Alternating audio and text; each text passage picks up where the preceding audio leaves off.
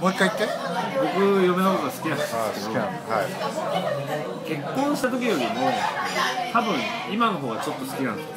ああなぜゆえに。僕が好きになればなるほどいやわかんないです。けどなんか異様に可愛く見えたりとかするんですよね子供産んでから。あ産んでからっていうかこうなんかあこいつ可愛いなみたいな。あってでそれを言うとまあ嫁もうざがるわけですよどんどん心が逆に離れていくんですよ嫁の心が呼ばないよ何言ってじゃああれだよ。あの女子は好きだとかあもううぜえと。急にお前から冷たくする。だから最近あえてそういう態度をしてるんですよわざと。それわざとやってる俺ってなんだろうと思って。いやそうするとあのいつもはさまたどうせ私にって思ってるのにさ。